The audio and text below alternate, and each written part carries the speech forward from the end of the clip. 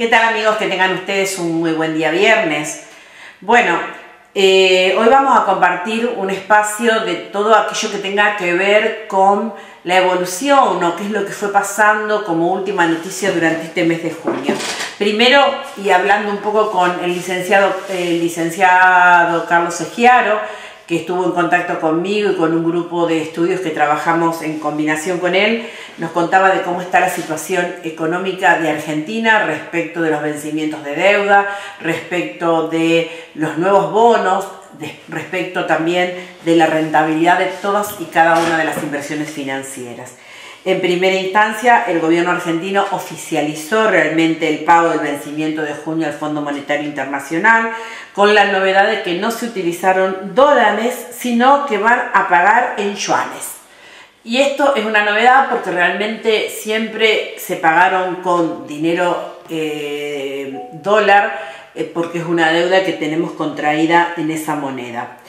El objetivo del organismo internacional es que de, de acá en adelante todos los fondos comprometidos por la Argentina, que son 10.600 millones de dólares, eh, surjan como consecuencia de una mayor eh, capacidad productiva que tiene a desarrollar la Argentina y la intención clara que tiene el gobierno es de poder fortalecer las reservas del Banco Central de la República Argentina. Y esto con la finalidad de mantener cierta calma en los mercados, que ante los distintos vencimientos que se pueden producir en los mercados, evidentemente estamos en presencia de situaciones bastante complicadas, sobre todo por la imagen de Argentina con el resto de los países que tienen intención de invertir en ella. Bueno, ahora, ¿qué es lo que está haciendo falta para cerrar realmente este ansiado acuerdo con el Fondo Monetario Internacional? Uno de los puntos principales justamente de la discusión que se están manteniendo es la redacción de un informe eh, respecto de todo lo que tenga que ver con política cambiaria. Y este no es un tema menor. Desde las fuentes oficiales del Fondo Monetario Internacional se está eh, pidiendo una devaluación del 30% para la Argentina. Realmente una devaluación del 30% tendría eh, un impacto dentro de la economía nacional. Pero una de las bases en las que se sentaría el acuerdo con el fondo es que esa devaluación tiene que ser no una promesa, sino un hecho.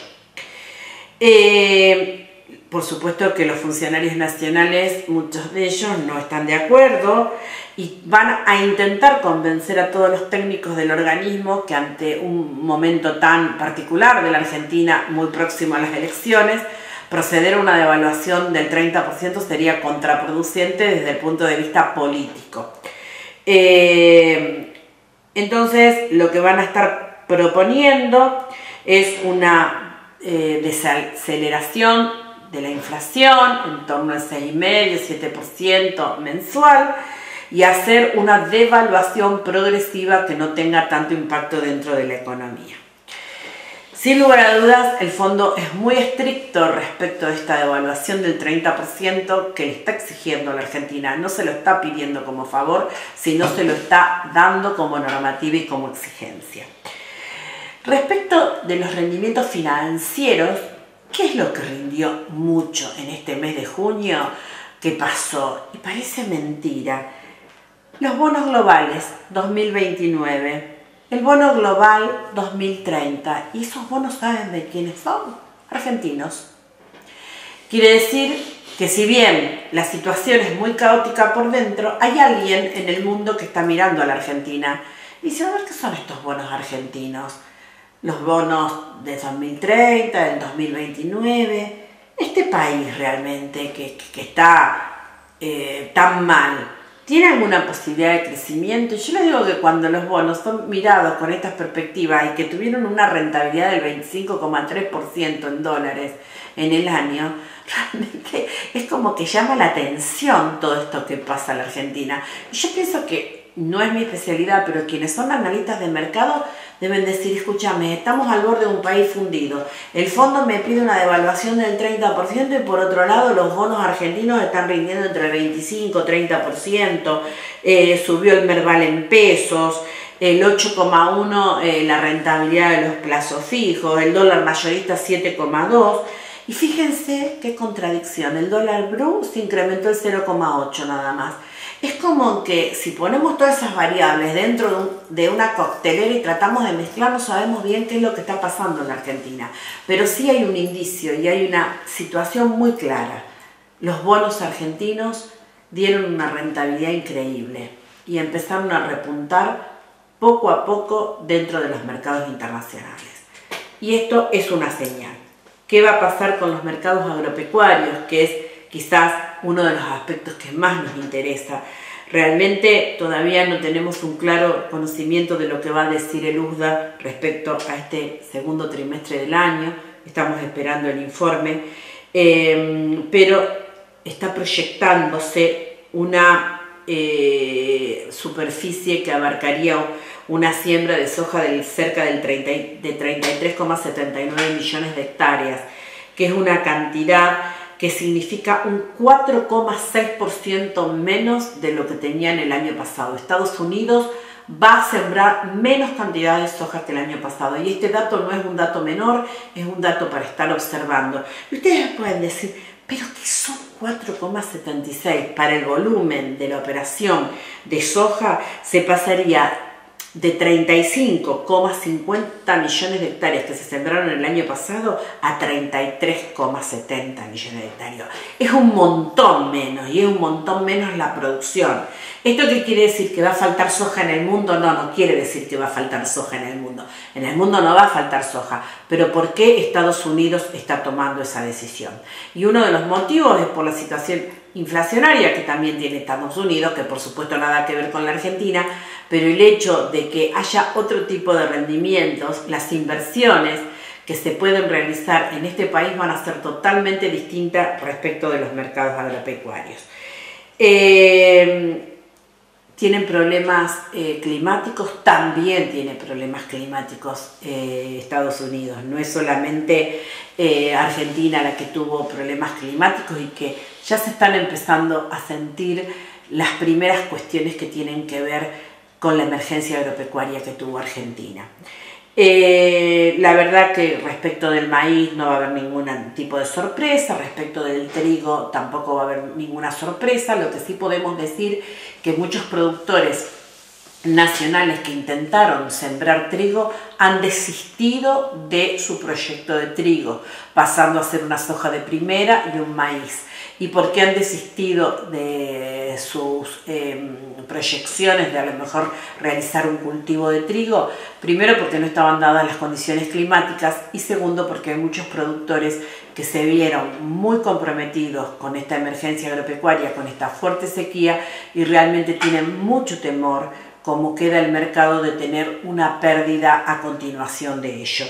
Motivo por el cual em, se puede decir que eh, dada la situación que están viviendo los productores y pensemos que es la peor cosecha de los últimos 20 años para la Argentina.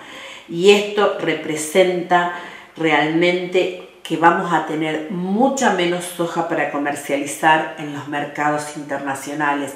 Esto va a traer un problema serio no solo para los productores, sino para el país, porque no van a entrar las divisas que se tenían esperado y realmente la situación va a ser bastante complicada.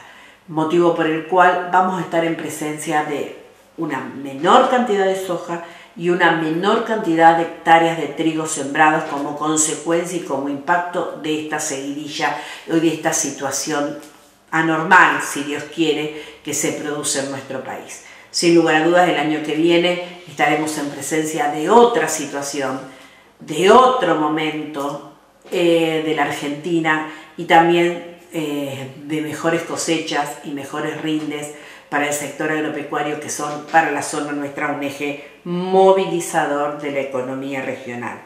Eh, realmente hay que tener en cuenta que esta situación que parecía que no era tan grave se termina agravando prácticamente en el último mes antes de la cosecha y hoy ya se está empezando a ver las dificultades financieras por las cuales están atravesando los productores. Teóricamente habría un conjunto de medidas que el gobierno tomaría para dar asistencia a los productores agropecuarios, pero con condiciones que no tengan en determinado momento hasta el 5% de soja guardado y muchos productores nos plantean, pero yo esa soja la tengo guardada porque tengo que enfrentar o tengo que hacer frente a contratos de arrendamiento con productores y demás, y realmente no me puedo desprender de ella. Bueno, en ese caso las tasas son totalmente distintas y varían considerablemente de tener soja a no tener soja.